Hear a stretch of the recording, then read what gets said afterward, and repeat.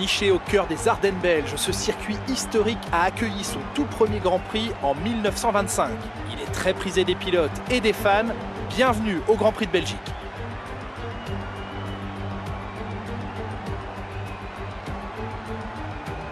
Nous voici au cœur des Ardennes belges sur le circuit de Spa-Francorchamps. D'une longueur de 7 km, le tracé comporte 9 virages à droite et 10 à gauche, soit un total de 19 virages, tous plus emblématiques les uns que les autres.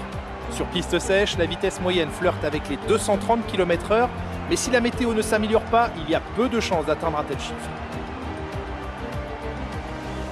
Nicolas Martin est à mes côtés aujourd'hui et nous sommes bien au sec dans la cabine de commentaires. Comment allez-vous Nicolas? Prêt pour la course? Je vais très bien, merci Julien. J'ai oublié mon parapluie pour venir ici, je suis donc un peu trempé, mais je devrais sécher rapidement. La course devrait être très intéressante dans ces conditions, car bien évidemment, quand il se met à pleuvoir, il faut revoir sa stratégie. Les dépassements sont plus faciles sous la pluie. On se focalise moins sur l'efficacité aérodynamique et la gestion des pneus. Ce sont les pilotes qui font toute la différence, bien plus que par temps sec.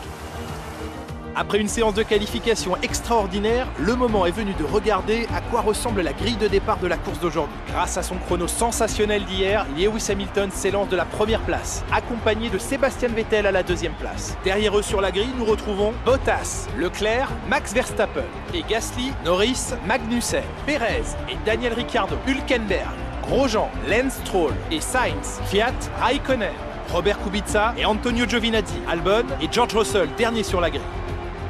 L'extinction des feux est imminente, montez le volume et rendez-vous au premier virage.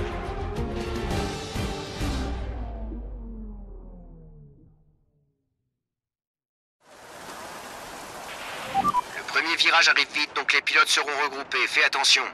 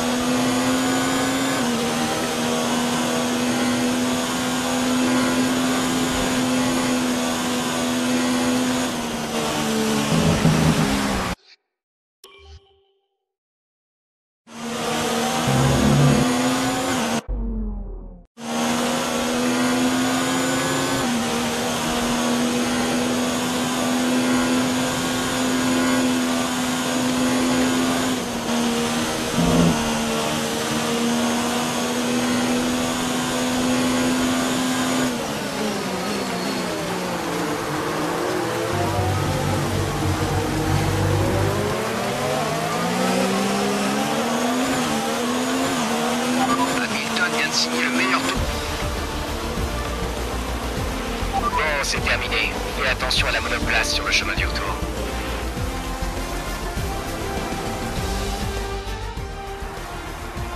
Ce Grand Prix s'achève sur une très belle victoire de Mercedes. Dites-moi Nicolas, qu'est-ce qui leur a permis de tirer leur épingle du jeu aujourd'hui?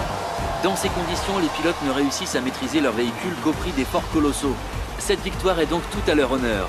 Ils ont su exploiter au mieux l'adhérence, les bonnes trajectoires et n'ont pas hésité à hausser le rythme pour tirer leur épingle du jeu. C'est ainsi qu'ils ont décroché la première place. Mercedes est de nouveau au top après cet excellent week-end et ça fait plaisir de les revoir sur le podium.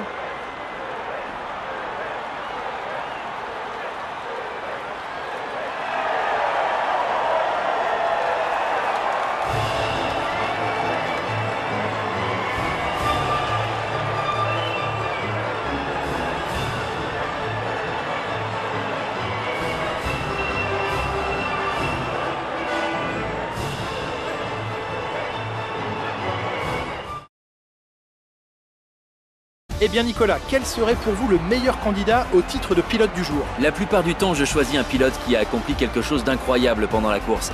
Mais cette fois, j'ai plus été impressionné par la propreté du pilotage de Nico Hülkenberg durant cette course. Eh bien Nicolas, encore un week-end extraordinaire qui se termine. Merci à toutes celles et ceux qui nous ont suivis aujourd'hui et à très vite pour la prochaine étape de cette saison.